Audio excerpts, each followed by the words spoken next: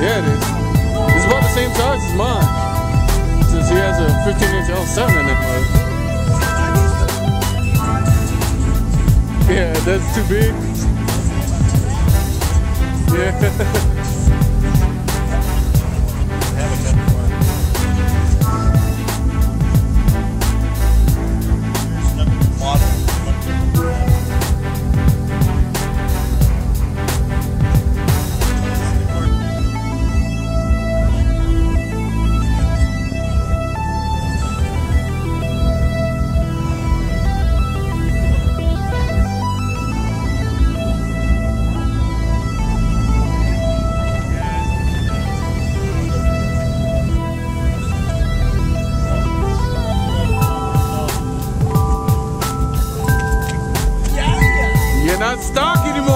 You done did something to it.